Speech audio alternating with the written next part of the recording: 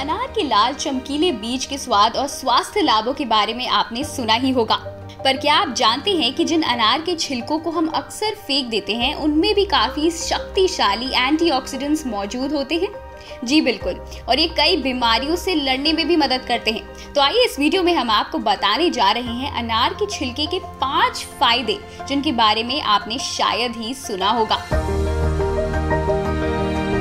आपको बता दें कि अनार के छिलके जो हैं, वो पेट की समस्याओं के लिए काफ़ी लाभदायक होते हैं। जी हाँ अनार के छिलके में कई प्रकार के मेडिसिनल गुण होते हैं, जैसे पॉलीफेनॉल एक्सट्रैक्ट्स जो पेट की समस्याओं को दूर करने में मदद करते हैं। ये किसी भी प्रकार की सूजन को कम करते हैं और पाचन क्रिया को भी कंट्रोल करते हैं। तो अगर आपको पेट की समस्या है तो आप अनार के छिलके का काढ़ा बनाकर दिन में दो से तीन बार ज़रूर पिए।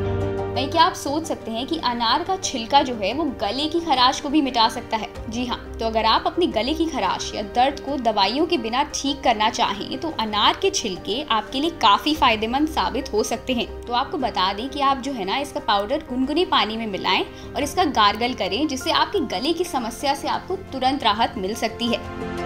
अनार के छिलके का अगला फ़ायदा यह है कि वह आपके हृदय को भी स्वस्थ रखता है। जी हाँ तो रोज़ाना एक चम्मच अनार के छिलके का पाउडर आप गुनगुने पानी में मिलाकर पीने से आपकी हृदय की कई जानलेवा बीमारियों से आप लड़ सकते हैं। यही नहीं, ये कोलेस्ट्रॉल को कंट्रोल रखता है, साथ ही स्ट्रेस को घटाता है और हृदय को भी स्वस्थ रखता है।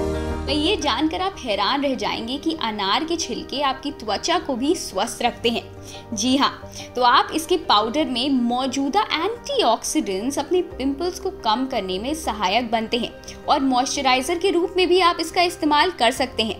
तो आप इसका फेस पैक बना सकते हैं या फिर आप इसे स्क्रब के रूप में भी उपयोग कर सकते हैं। तो है ना अनार के छिलके के कई फ़ायदे? भाई, आखिरी फ़ायदा जिसके बारे में हम आपको बताने वाले हैं, वो है आपके दांतों के लिए। जी हाँ तो चाहे आपके मसूड़ों में दर्द हो या फिर बैड ब्रेथ की समस्या, अनार के छिलके के पाउडर से गार्गल या मसाज करने से आपके कई डेंटल प्रॉब्लम्स जो हैं, वो दूर हो सकते हैं।